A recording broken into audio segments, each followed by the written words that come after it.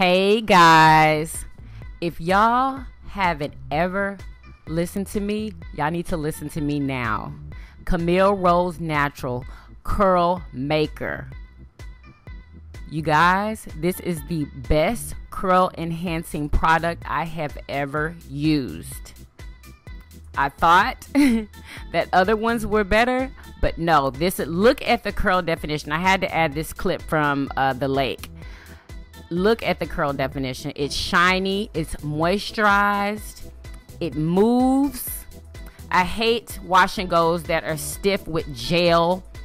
This stuff, it smells amazing. It smells like orange peels. I love it. Excuse the little part in the back. It looks like I'm bald. But look at the movement and the definition. You guys have to check this product out. It is amazing. Don't use a lot because it can get a little um, sticky. But if you don't use a lot, it's perfect. Absolutely perfect. Look at the definition, guys. If you like movement with your wash and goes, this is the one.